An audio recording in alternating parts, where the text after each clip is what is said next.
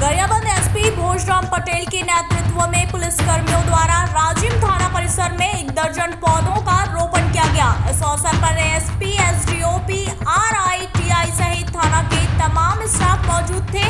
SP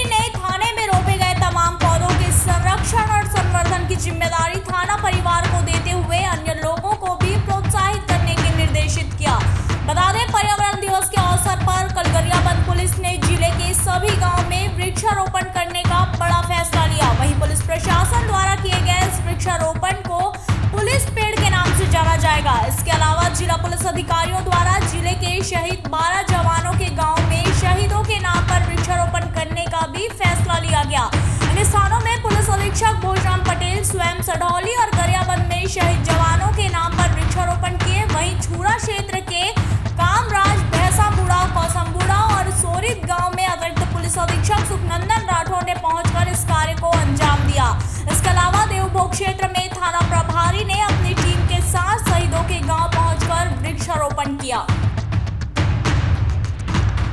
world environment day में आज हम सभी ने कोशिश किया है कि हमारी पुलिस टीम के माध्यम से हमारे जो पुलिस के जवान या अन्य जो फोर्स के जवान जो शहीद हुए थे, उनके नाम पर हम लोग, उनके परिवार के साथ में मिल करके एक एक वृक्ष लगाएँ।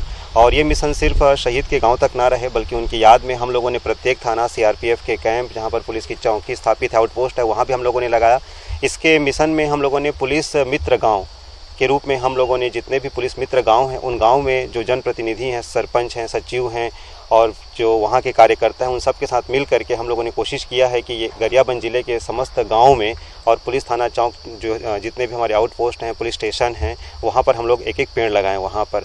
और इसमें लगभग लगभग अभी तक, सुबह से लेकर के अभी तक 800 वृक्ष, यानी कि 800 पौधे लग चुके हैं, जिसमें हम लोगों ने कोशिश किया है कि सभी प्रकार के वृक्ष को हम लोगों ने लगाएँ।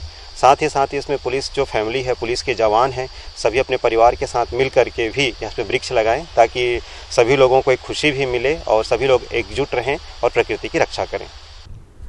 आज पूरा विश्व कोरोना संकट का मार झेल रहा है। ऐसे में पर्यावरण दिवस के अवसर पर नेशन अपडेट की टीम आपसे अपील करती है कि अपनी सुरक्षा के लिए एक पेड़ अवश्य लगाए।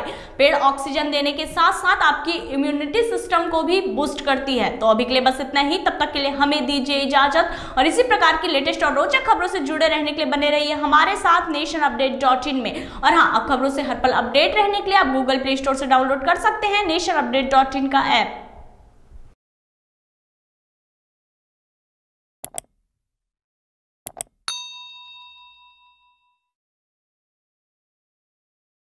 For more updates, subscribe to our YouTube channel nationupdate.in.